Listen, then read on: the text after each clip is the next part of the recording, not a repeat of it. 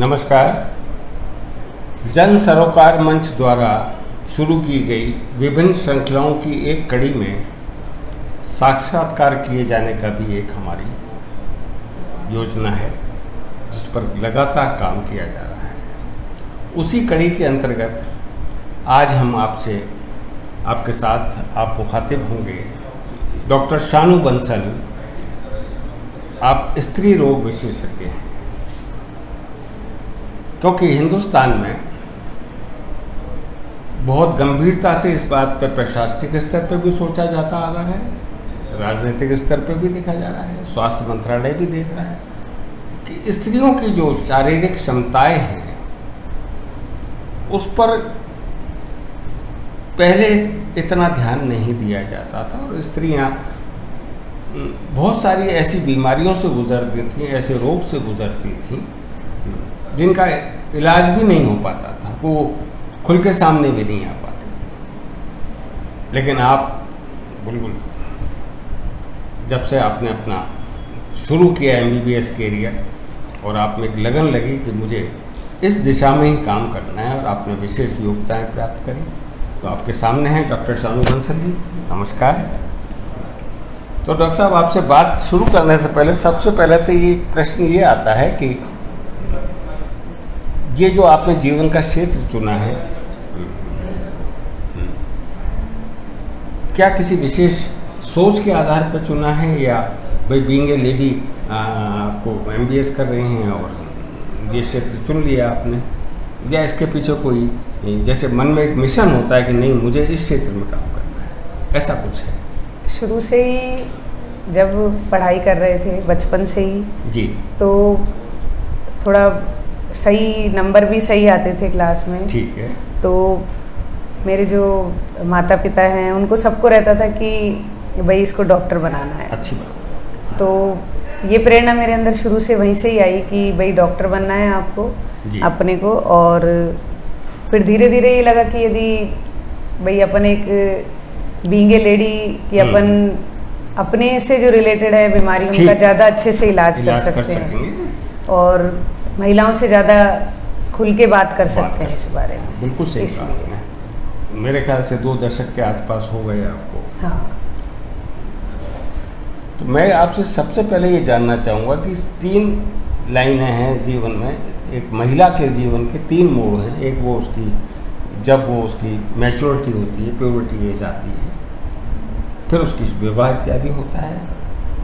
फिर एक पीरियड ऐसा आता है जो जहाँ उसका साइकिल मोनोपोज बंद होता है वो स्थिति आती है और एक वृद्धावस्था आती है। तो हम शुरू से अगर बात शुरू करें हम्म, कि लड़की तेरह चौदह पंद्रह साल की होती है और उसका हम्म, साइकिल शुरू होता है तो थोड़ा सा ये बता सकें आप अच्छा लगेगा कि उन किशोर बच्चियों को प्रिकॉशनरी किन बातों पर ज़्यादा ध्यान देना चाहिए? क्या है कि जब एक लड़की 10 11 12 साल के बाद जैसे ही युवावस्था में आती है तेरह चौदह साल की में जी। तो उसके शरीर में बहुत परिवर्तन होते हैं शारीरिक परिवर्तन होते हैं। जी। तो एकदम से उन चेंजों को के लिए एडेप्ट होने में टाइम लगता है। तो यदि अपन धीरे धीरे उसको हम्म। जब वो 11-12 साल की एज में ही हो अपन उसको धीरे धीरे थोड़ा बहुत समझाते रहें। आजकल तो किताबों में भी सब आता है पढ़। तो वो एकदम से जब उसको पीरियड शुरू होते हैं तो उसको एकदम से घबराती नहीं है। हाँ हाँ। तो धीरे धीरे वो अडेप्ट हो जाती है। तो उसको ये पहले समझाना ज़रूरी है कि आपके तेरह चौदह साल के जब आप हो जाओगे तो आपके के क्या क्या परिवर्तन हो सकते हैं आपके शरीर में तो वो उसको धीरे धीरे ऐसे आजकल बहुत सारे जो ये एन होते हैं ये सब भी ऐसे प्रोग्राम चलाते हैं जिससे कि उनको अवेयर किया जाता है बच्चियों जी, को। जी। शहरों में जो लड़कियाँ रहती हैं उनको तो वो तो शिक्षा भी पूरी ले पाती हैं तो उनको पूरी जानकारी जानकारी पहले से ही रहती है, हाँ। लेकिन गाँव में ये एन के द्वारा प्रोग्राम चलाए जाते हैं तो उनको उस चीज़ से अवेयर कराना ज़्यादा ज़रूरी होता है। ताकि क्योंकि क्या होता है कि एक तो जब महावारी शुरू होती है तो उसको कैसे अपने आप को स्वच्छता रखनी है ये समझाना ज़रूरी होता है। ये सब इसीलिए। ज़्यादा ज़रूरी है ये सब चीज़ें। टाइम पे समझा देंगे हम्म। तो वो उन चीज़ों को उसी आधार पे लेगी। ताकि अगर स्वच्छ रखेगी उस टाइम पे कैसे अपन को क्या प्रयोग में लेना है? तो ये सब चीज़ें उसको पहले से बताएँगे तो वो जब शुरू होंगे तो वो उसी आदत में रहेंगे उसको। इसमें माता पिता का भी कुछ योगदान हाँ अब क्या है। कि बच्चियाँ होती हैं वो पिता से तो ये सब चीज़ें बातें नहीं, नहीं कर सकती। लेकिन माताएँ उनको शुरू से इस बारे में समझा सकती हैं थोड़ा सा। जब 11-12 साल की एज के बाद से उसको धीरे धीरे तो वो उन चीज़ों के लिए पहले से ही तैयार रहेगी। उसके बाद क्या होता है कि एक बार फिर धीरे धीरे ये सब चीज़ें रहती है थोड़ी फिर हार्मोनल चेंजेस भी होते हैं। फिर दूसरी स्टेज आती है उसकी जब विवाह होता है शादी के बाद। ठीक है। तो उस टाइम पे उसको ये सब चीज़ें समझाना ज़रूरी होता है। एक तो सबसे पहले कि भाई आपको क्या चीज़ें कॉन्ट्रासेप्शन के लिए यूज़ करना जी हाँ, जी जी। कब आप भाई कब आप तैयार हो कि आपको गर्भ हाँ हाँ। गर्भ मतलब कब आपको प्रेगनेंसी के लिए प्रिपेयर होना है तो उससे पहले क्या क्या आपको कॉन्ट्रासेप्टिव यूज़ करने हैं उसके बाद जब आप चलो ठीक है प्रेग्नेंट हो गए तो उसके। बाद आपको कैसे कैसे रेगुलर डॉक्टर को दिखाना है अच्छा। रेगुलर डॉक्टर को दिखाना है आपको कैसे हर तीन तीन महीने के तीन ट्राइमेस्टर रहते हैं तो उस हिसाब से आपको दिखाना ज़रूरी होता है डॉक्टर को आयरन है फॉलिक एसिड है ये सब टैबलेट लेना ज़रूरी होता है टाइम पे ताकि ब्लड की कमी नहीं हो डिलीवरी के टाइम। पे। उस, उसके अलावा क्या होता है कि एक सोनोग्राफी कराना भी ज़रूरी होता है। हम्म। ताकि सोनोग्राफी यदि टाइम पे हो जाती है तो बच्चे में यदि कोई खराबी हो तो वो पहले ही पता चल जाती है। तो अपन पहले यदि नहीं मतलब बच्चे में ज़्यादा खराबी है तो अपन डॉक्टर की सलाह से हम्म, पहले ही उसका इलाज करा इलाज सकते हैं, ये चीज़ें रहती। फिर ये रहता है कि भाई आपका प्रेगनेंसी का टाइम चल रहा है। उस हम्म। टाइम पे आपको खाने पीने के लिए क्या क्या चीज़ें लेनी है? सही। क्या चीज़ें ध्यान रखनी है? कितने फल फ्रूट्स लेने हैं? दवाइयाँ लेनी है टाइम पे। उसके अलावा फिर क्या होता है नवे महीने नौ महीने पे जब आपका टाइम पूरा हो जाएगा। तो डिलीवरी कहाँ करानी है?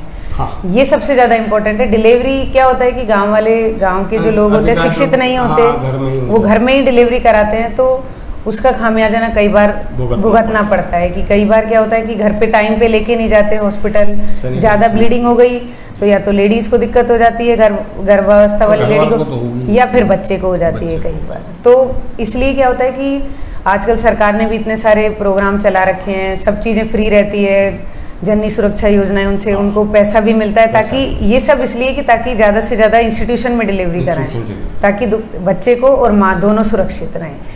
फिर उसके बाद क्या आता है कि भाई मीनूपोज होती है एक स्टेज हाँ। जब उसमें बंद हो जाते हैं पीरियड्स तो तब भी काफ़ी हार्मोनल चेंजेज होते हैं। उस समय क्या विशेष ध्यान उस टाइम भी उस टाइम ज़्यादा तो कुछ नहीं है कि लेकिन कई बार क्या होता है कि मेनोपोज आने के बाद भी पीरियड्स बंद नहीं होते किसी लेडी को।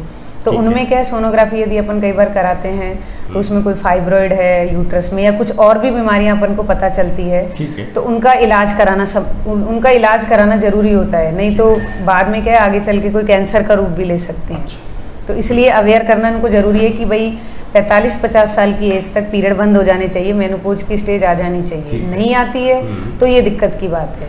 तो अपने को उसके ध्यान रखने की बात हाँ ध्यान रखने की बात है कराना चाहिए इलाज। तो ताकि उसका टाइम पे इलाज हो सके क्योंकि आगे जाके कमज़ोरी हो दिक्कत हो तो वो वाली चीज़ भी मेरी जानकारी में ऐसा भी आया मैडम कि अधिकांश औरतें फाइब्रॉइड्स के लिए कह देती हैं अरे ये तो होते रहते हैं। नहीं। They are taking very lightly तो थोड़ा इसके बारे में। नहीं फाइब्रॉइड को रसोली भी कहते हैं हाँ। हिंदी में। तो उसको लाइटली लेना ज़रूरी लाइटली नहीं लेना चाहिए क्योंकि उसका उसकी वजह से क्या है कि कई बार महावारी ज़्यादा आती है। लेडीज़ को ब्लीडिंग ज़्यादा होती है उस वजह से। तो ब्लीडिंग ज़्यादा होगी तो। हीमोग्लोबिन कम होगा। एनीमिया होगा दिक्कत आएगी। उसकी वजह से पीरियड्स ज़्यादा ज़्यादा टाइम तक रहेंगे जल्दी जल्दी आएँगे। तो इलाज कराना ज़रूरी है उसका। उसको लाइटली लेना नहीं चाहिए। नहीं चाहिए। हाँ क्योंकि वो बढ़ भी सकती है गांठ। धीरे धीरे यदि टाइम पे इलाज नहीं लिया तो। धीरे धीरे बढ़ जाएगी तो ज़्यादा परेशानी परेशानी। बढ़ेगी। तो टाइम पे छोटी है तभी इलाज ले लो तो ज़्यादा सही है। अच्छा इस सब में इस पीरियड में क्या मानसिक रूप से भी कुछ तैयारी होनी चाहिए या मानसिक स्टे- स्टेटस को भी थोड़ा सा अपने आप को मेंटेन रखना चाहिए मानसिक है? हार्मोनल चेंजेस होते ही हैं क्योंकि हम्म। जो हार्मोन धीरे धीरे यूट्रस से कम रिलीज़ होंगे यूट्रस और ओवरी से ठीक है तो मूड चेंजेस और ऐसी चीज़ें कई आती हैं हाँ। मतलब जो मेनोपोज तो के बाद उसके लिए मतलब फैमिली को या खुद लेडी को इसके इस लिए आजकल हार्मोन रिप्लेसमेंट थेरेपी भी आती है। अच्छा। वो वाली चीज़ भी ले सकते हो। हम्म। और बाकी आपको थोड़ा मेंटली तो प्रिपेयर रहना ही पड़ता है उस उस चीज़ के लिए। हाँ। मतलब उसका ये रहता है कि आप अपने आप को बिज़ी रखो। अच्छा। बिज़ी रखो आप अपने आप को जिससे कि इन चीज़ों पे ज़्यादा ध्यान नहीं रहे। ठीक है। किसी भी तरीके से बिज़ी रखा जा सकता है अपने आप को। क्योंकि एक स्टेज ऐसी आती है कि लेडी को इधर हार्मोनल चेंजेस भी होते हैं और उधर घर हाँ, से भी थोड़ा भी मिलना चाहिए हाँ, उसे ताकि- को भी समझना चाहिए। हाँ क्योंकि वो तो देखो अब है एज के आधार पे वो तो होंगे ही उसको तो अपन टाल भी नहीं सकते। बाकी इलाज अगर ज़्यादा परेशानी रहती तो हार्मोन रिप्लेसमेंट थेरेपी वगैरह भी इसके लिए इलाज रहता है। ओल्ड एज में क्या स्थिति आती है? ओल्ड एज में तो ज़्यादा कुछ दिक्कत नहीं आती यूट्रस प्रोलैप्स वगैरह की स्थिति रहती है कई बार। कैसे? थोड़ा सा उसमें क्या होता है कि लिगामेंट्स वगैरह कमज़ोर हो जाते हैं। उनकी जो टाइटनेस है वो ढीली हो जाती है धीरे तो है, बहुत सारी लेडीज़ें आती हैं बिल्कुल जो ओल्ड एज में होती हैं पचास साठ के बाद हाँ हाँ। उनके क्या है यूट्रस निकल जाता है बाहर। अच्छा। हम्म, यूट्रस बाहर निकलता है तो उसके कारण उनको बैठने में दिक्कत आती है उनको यूरिन में उनको टॉयलेट में इन सब चीज़ों में दिक्कत आती है। हाँ।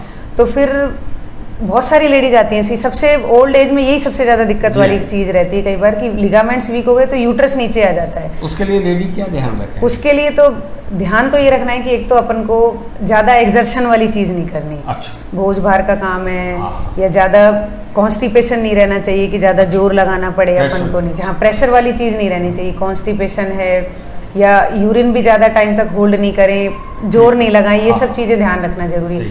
फिर बाकी जब प्रोलैप्स हो जाता है तो फिर हिस्ट्रेक्टमी करानी पड़ती देते हाँ आउट ही करना पड़ता है क्योंकि अच्छा। उसको क्या है कि वो बाहर रहेगा तो यूट्रस भी हाँ। कई बार इन्फेक्टेड हो जाता है वो। यूट्रस बाहर रहती है वो तो उसके ऊपर अल्सर बन जाते हैं। अल्सर बन जाते हैं तो एक्स्ट्रा और यूट्रस बाहर है उसके ऊपर अल्सर भी बन गए। तो और ज़्यादा कंडीशन बिगाड़ खराब हो जाती है तो उसको फिर निकलवाना ही पड़ता है। हिस्ट्रेक्टमी करानी पड़ती है। फिर उसके बाद सही रहता है। फिर दिक्कत यूरिन में और इनमें भी हाँ, नहीं आती है। हाँ, हम्म। होती। और कुछ आप कहना चाहें? और तो कुछ ऐसा नहीं है बस ये है कि लड़की मतलब एक जो महिला है उसकी स्टेजेस चेंजेज होते हैं उसकी लाइफ में। हर तो उसको हर टाइम पे ध्यान रखेगी अपना। तो लाइफ इतनी दिक्कत वाली नहीं रहेगी उसकी। दिक्कतें तो हाँ, होती हैं लेकिन हाँ, लेडीज़ की लाइफ में होती हैं। नहीं हर हर उसमें चेंज आते हैं हर अवस्था में।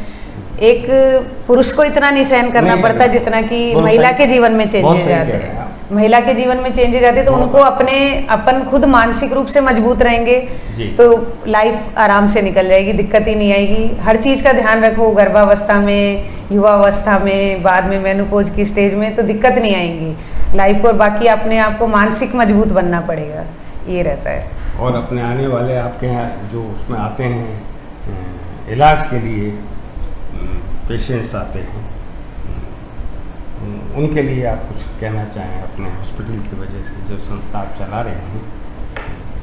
उन मैं तो यही कहूँगी कि देखो हम सेवा करने के लिए ही है इसीलिए ये फ़ील्ड चुना है। जी जी जी। आप आए आराम से कोई दिक्कत नहीं है दिखाएँ हर मतलब जितना हम हमसे हो सकेगा उतना तो हम इलाज करेंगे। बाकी अगर कोई ज़्यादा दिक्कत रहती है तब तो देखो रेफर करना ही पड़ता है कि हाँ। कंडीशन बिगड़े उससे पहले इनको सुविधा मिल जाए वो ज़्यादा सही है। बाकी आप आर्थिक रूप से जो संपन्न नहीं है। नहीं उनके लिए ऐसा कुछ नहीं है। आप आओ आराम से। जितना हमसे हो सकेगा उतना हम अप, अपनी तरफ़ से कम करने की कोशिश करेंगे। उस ग्राउंड पर भी आप सोचते हैं। हाँ। बहुत खुशी की बात है। बहुत सारी अच्छी जानकारियाँ जो आम युवा होती लड़कियों में या महिलाओं में हम्म, जानकारी ना होने के अभाव में तकलीफ़ें पैदा हो जाती हैं। उसके लिए आपका ये जो कुछ आपने बताया बड़ा उपयोगी सिद्ध होगा। काफ़ी लोग देखेंगे इसको और आपसे इजाज़त चाहते हैं आज। थैंक यू फिर कभी हम्म, मौका लेंगे। ठीक है फिर बात करेंगे अपन लोग। धन्यवाद।